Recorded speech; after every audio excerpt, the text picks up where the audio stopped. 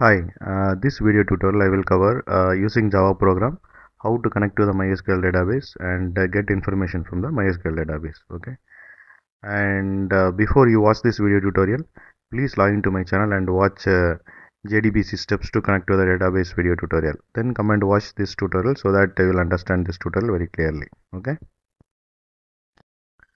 Uh, to explain JDBC program, I have created the script called world.sql. Uh, this world.sql script uh, you can get it from my blog.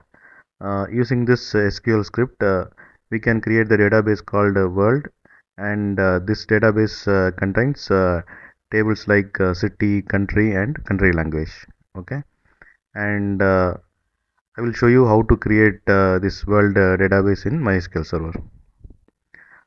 Just copy all the contents and paste it in workbench and select all and just execute this. Okay and after executing this one just refresh this uh, schemas so you can see uh, the database world is created. Okay and it has uh, uh, tables like uh, city country and country language uh, so now we'll see what is there in the city table okay?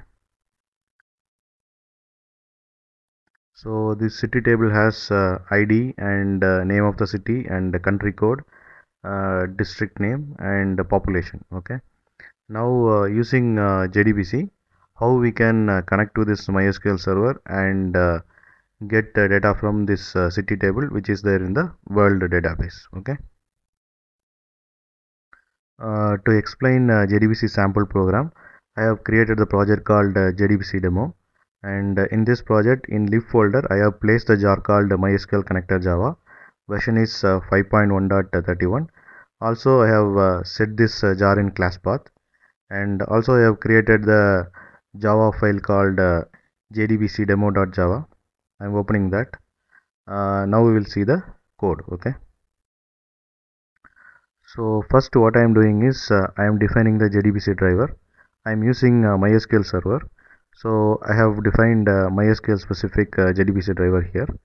Uh, next uh, i am defining database url i am using mysql. So jdbc colon mysql.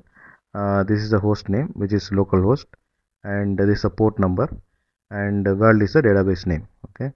And next i have defined database credential like username and password and both username and password is uh, root root okay?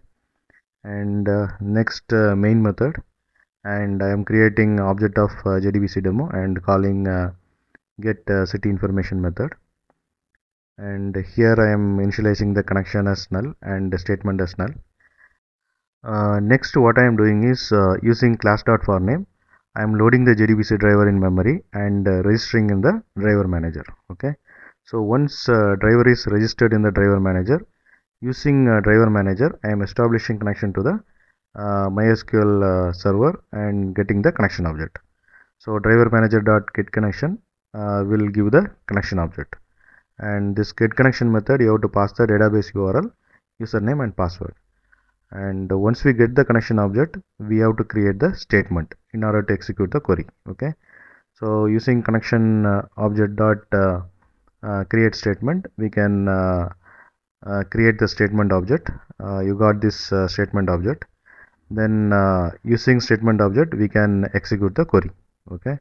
So the query is uh, select id comma name comma country code comma district comma population from uh, city. Okay? City is the table which is there in the world uh, database. Okay?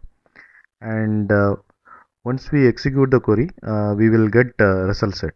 Okay and uh, you have to just iterate the result set uh, in order to get uh, each column value of each row okay?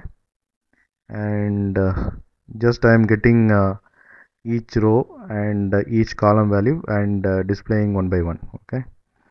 And once we finish uh, retrieving the result uh, then we have to close all the resources like uh, connection and statement and result set okay?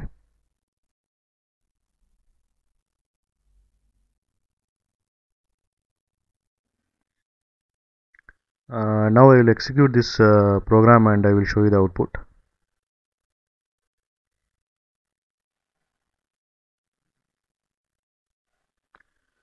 So it connected to the database and uh, created the statement and you can see the uh, city table uh, information okay?